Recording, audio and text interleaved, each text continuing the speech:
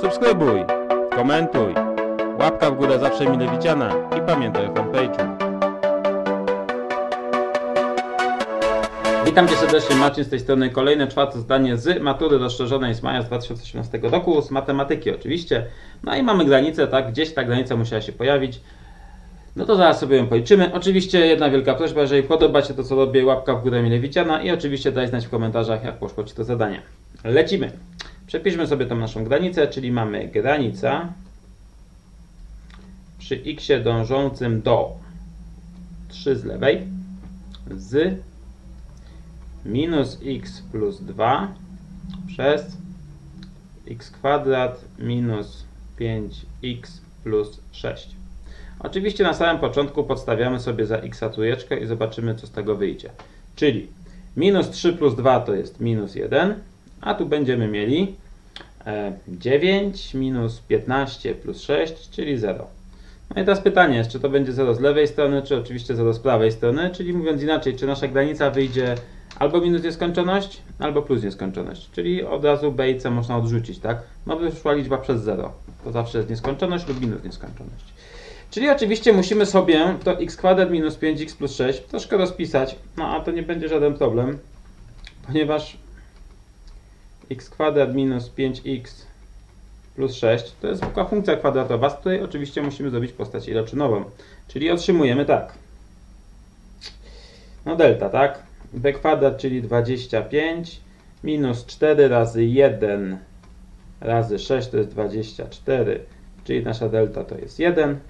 Wyliczamy sobie x1 i wyliczamy sobie x2. Na pewno jeden z pierwiastków będzie trójka, ale tak, a drugim będzie chyba dwójka. A więc 5 minus 1 to jest tak, 5 minus 1 i wróć. Minus 1 przez 2 to jest 4 drugie, czyli 2 oraz 5 plus 1 przez 2, czyli 6 przez 2, czyli 3. Tak? Czyli tą moją funkcję kwadratową ja mogę sobie zapisać w postaci x minus 2, x minus 3.